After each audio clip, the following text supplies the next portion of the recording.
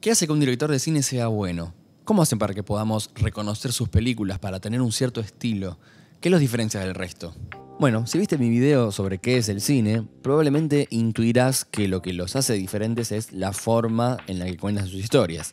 Y esto se traduce en un montón de maneras. Cómo usan la cámara, cuánto tiempo se toman para una escena, cómo componen los planos, cómo usan la luz, el color, el montaje, la música, etc. Cuando en todo esto percibimos una marca personal, o sea, algo que se repite a lo largo de las películas de un mismo director o directora, estamos ante algo que desde los 50 se viene llamando cine de autor. Esto es productos en los que justamente se encuentra una marca personal, cineastas que tienen un estilo que destaca. En esta serie de videos, titulados ¿Qué lo hace genial?, siendo este el primero de ellos, precisamente voy a exponer mi opinión sobre qué hace al estilo de diferentes directores que creo yo son muy buenos. En este video voy a hablar sobre Terry Gilliam, un director muy reconocido y a la vez un poco border, que nunca terminó de entrar en el salón de la fama de otros directores de habla inglesa con algo de surrealista, algo de humor grotesco, algo de angustia existencial y mucho de esto.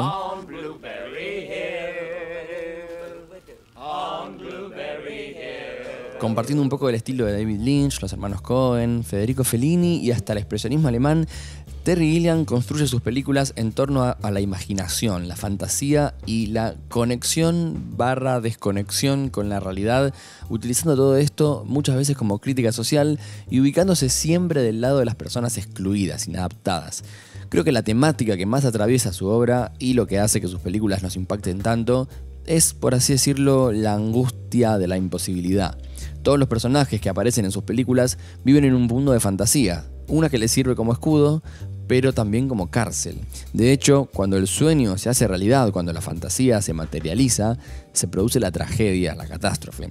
Y a esta angustia de corte heideggeriano, la angustia por el vacío, por lo frágil de la realidad que nos sostiene, vamos a intentar analizarla desde dos miradas. La del incluido y la del excluido. O sea, personas adaptadas versus personas inadaptadas. Como espectadores de Gilliam siempre estaremos en realidad del lado ubicados en la mirada del excluido, el inadaptado. Pero la diferencia entre adaptados e inadaptados en sus películas no radica en su desconexión con la realidad, ya que ambos viven al fin y al cabo en un mundo de fantasía, sino más bien en cómo afrontan esta angustia, cómo se enfrentan al vacío. Vamos a elegir tres películas que nos van a servir de eje para el análisis, aunque en verdad lo que voy a decir se puede extender a toda su obra. Así que bueno, vamos a empezar. Bien, empecemos por uno de sus primeros largometrajes, Brasil de 1985, que es una especie de versión satírica de novelas como 1984, Un Mundo Feliz, El Proceso.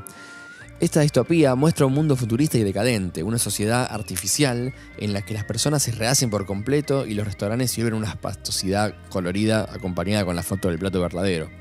Acá la violencia es la contracara del consumismo, como lo muestra la secuencia inicial, donde vemos estas luces de neón, un televisor y un carro supermercado, seguidos de esta explosión, consumo y violencia, lo cual se filtra en los niños que juegan con armas y tarjetas de crédito, imitando a los adultos, interrogándose y torturándose. Como dijimos antes, los personajes de Gilliam se dividen entre quienes se adaptan a la sociedad y quienes no, aunque ambas partes viven en una fantasía, los adaptados la fantasía hegemónica, mientras que los excluidos una fantasía alternativa, que a la vez que les sirve como escape a la agobiante opresión social, los encierra y excluye. En Brasil, los adaptados que viven esta fantasía hegemónica es gente exitosa que mantiene una vida de ostentaciones, que aparenta felicidad, pero que esconde todo lo real del cuerpo, la vejez, la angustia, el aburrimiento, la banalidad. Algunos exitosos eligen la fantasía del poder, basada en una burocracia y formalidad complicadísimas que esconden una simple y cruda verdad de fondo. Para que unos tengan confort, otros deben ser aniquilados. Los hegemónicos entonces mantienen la apariencia pulcra y exitosa, aun cuando la realidad pide a gritos ser escuchada. En el elegante restaurante se produce un atentado y algunas personas mueren, pero las otras intentan no distraerse de su conversación. En las calles, los carteles publicitarios intentan tapar el sucio paisaje urbano. En las casas, los conductos sirven para ocultar el desorden de información cableada sobre el cual se basa la sociedad. Y en el trabajo, los empleados le cambian el nombre a sus parejas con tal de darle la razón a su jefe. Al comienzo vemos un empleado intentando matar una mosca para corregir una sucia imperfección en la pulcredad de la sala de archivos. Para hacerlo se trepa a una estantería. Esta elevación es moral, su estatus social no permite imperfecciones en las apariencias y es inmediatamente puesta en cuestión por lo inestable de la estantería. Los archivos del Estado se tambalean, se balancean. Tambaleándose, el empleado logra matar la mosca, pero el insecto cae en la máquina de escribir automática, produciendo un error de tipeo que le costará luego la vida a un inocente. O sea, para que algunos asciendan, otros deben descender.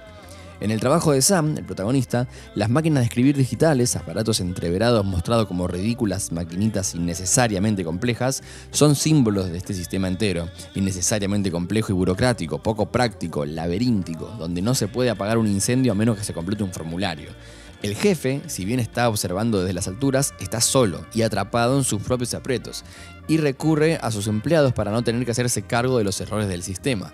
Más aún, cuando Sam es ascendido, se lo muestra con una cámara cenital desde arriba. Las puertas agigantan y su sombra lo precede. O sea, al ascender en realidad está más atrapado, más oprimido. Su nueva oficina es mucho más chica que la anterior. En Brasil, la fantasía hegemónica de poder, sostenida por la violencia represiva del Estado, promete una felicidad, para aquellos que se adaptan, que básicamente es mentira. De hecho, si nos fijamos en el espacio en el que Sam está encarcelado, podemos ver que fue anticipado por las paredes de su casa y hasta de su trabajo, lo cual remarca esto mismo. Por otro lado, los inadaptados, los que ven que todo esto está mal, en principio no pueden hacer nada. Todo lo subversivo que podrían tener se ve negado por su incapacidad de despegarse de la fantasía. El protagonista de Brasil, Sam, se la pasa soñando. De hecho, la primera vez que lo vemos es en sueño. Y el sueño, en Terry Gilliam, siempre tendrá algo de premonitorio. Por eso en su inconsciente Sam la ve a Jill incluso antes de conocerla. Todos los sueños de Sam añoran lo bucólico, medio naif de la naturaleza, corrompido por lo artificial de la ciudad. Cuando la conoce a Jill y comienza a creer que su sueño puede hacerse realidad, los límites de su fantasía se empiezan a desdibujar y su desconexión se va radicalizando. Sobre el final, los sueños se mezclan cada vez más con la realidad hasta llegar a una última secuencia donde sueña con su escape, cuando en realidad está absorbido por completo, por su fantasía y por el estado torturador. Acá aparece un elemento que se volverá constante en la obra de Gilliam, incluso más en sus últimas películas, la fatalidad unida a la realización de los sueños. Cuando el sueño de Sam se vuelve realidad, deviene en tragedia. A su vez podemos ver cómo la cámara de Gilliam va a ser una marca de enunciación fuerte, haciendo que todo lo cotidiano se vuelva extraño y hasta ridículo. La utilización del ojo de pez y el estética favorece este efecto, como que la imagen flota como si fuera justamente un sueño. Las cosas se agrandan o se achican, se muestran como materialidades plásticas, metáfora de esta inseguridad del mundo, esta falta de anclaje, esta desprotección.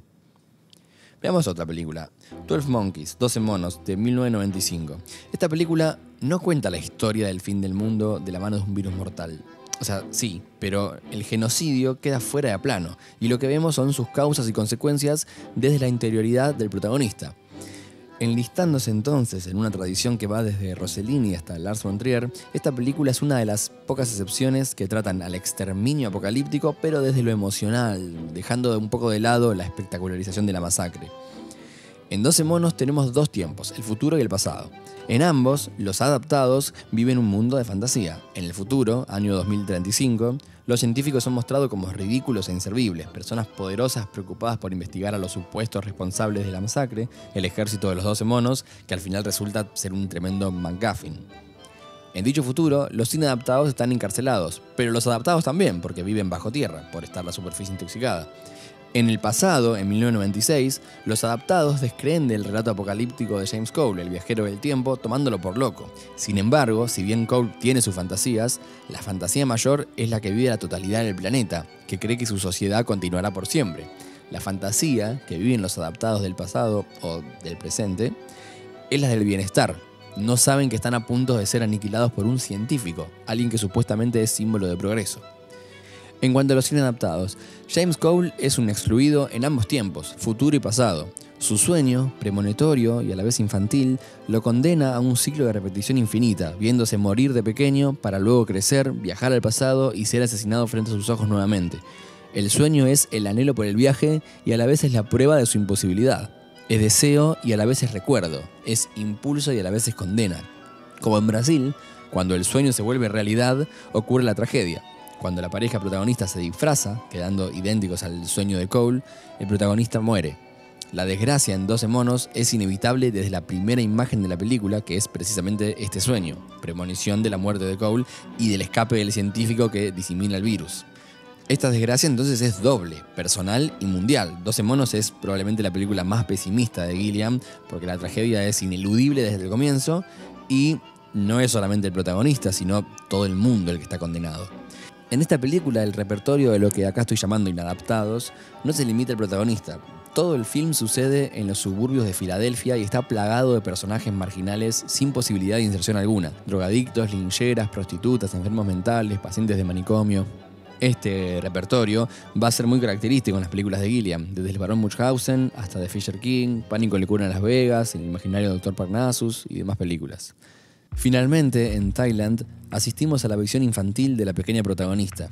La narración estará anclada a su percepción y hará que compartamos su mirada inocente en este terrible ambiente de drogas, locura y muerte.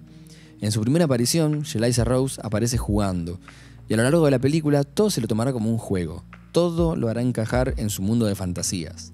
Como en Brasil y 12 monos, los personajes de este film están solos, sobre todo Shelisa Rose. La casa familiar donde la lleva el padre, la de su abuela, que debería de alguna forma representar seguridad o contención, es en cambio un sinónimo de abandono, soledad y locura. En esta película ni siquiera hay espacio para los adaptados, al menos no hasta el final. Toda la película es como un sueño, como una fantasía de Shelisa Rose en una tierra vacía, un juego constante con el que moldea su propio entorno. Los sueños y los juegos se confunden con la realidad. No hay punto de anclaje, acá no hay límite o final para el juego. No hay nada que no se adapte a la fantasía infantil y lúdica. La protagonista juega a la vida real. Así se esté maquillando, preparando la droga para el padre, besándose con Dickens o corriendo por el Prado. Pero no es solo ella. Todos los personajes en esta película son excluidos y tienen percepciones absolutamente distorsionadas de la realidad. Dickens, débil mental y epiléptico, cree que el Prado es un océano, él un capitán de submarino y el tren un tiburón monstruo al que debe matar. Dell, hermana de Dickens, cree que las abejas quieren vengarse de ellas y mantienen momificadas a su madre y a Noah esperando que vuelvan a la vida. Noah, el padre de Shelisa Rose, peligrosamente adicto, cree que viajará a Jutland en un viaje de liberación mística, pero en realidad termina yendo a la casa de su difunta madre. Finalmente, cuando el sueño se vuelve realidad, otra vez se produce la tragedia. Dickens logra matar al monstruo, es decir, dinamitar al tren. Sin embargo, acá la cosa se da vuelta, ya que en el accidente, Shelisa Rose conoce a una mujer normal, o sea, ajustada a la norma social, una adaptada, digamos, que promete cuidar de ella. Entonces, la tragedia termina siendo sinónimo como de anclaje finalmente a la realidad. Esto, si bien no ocurre en películas anteriores ni posteriores, es absolutamente coherente en Gilliam. Ese tren que explota y descarrila es el viaje a ninguna parte que habían emprendido Noah y Shelisa Rose. Es ese tren de fantasía que Gilliam siempre parece buscar y rechazar a la vez. Durante toda su carrera, este director ha presentado personajes a los que les espera la tragedia. Sam Lorry, el barón Munchausen, Parry, James Cole, Parnassus, Coven Leth, Toby Grumet. Salvo por aquellos que han logrado superar la fantasía, escapar del mundo de los sueños, como pueden ser Shelisa Rose o los hermanos Grimm. La división que en este video sirvió de guía para el análisis entre adaptados e inadaptados es en verdad inexistente, ya que ambos grupos son ridículamente fantasiosos e infantiles. Los adaptados son a la vez inadaptados. Los espacios son a la vez refugios y cárceles. La fantasía es a la vez escape y perdición. Creo que las películas de Gilliam efectivamente producen angustia, ya que nos muestran el lado nuestro que más queremos tapar, así como muestran que la realidad es en el fondo algo frágil. Todo lo que nos sostiene en el mundo de Gilliam se muestra como endeble y a la vez la mera fantasía subversiva no alcanza. Lo genial de este director, como estuvimos viendo, es precisamente este juego entre una cosa y la otra. No es que simplemente personajes grotescos y ridículos y listo. No es una simple crítica a la sociedad.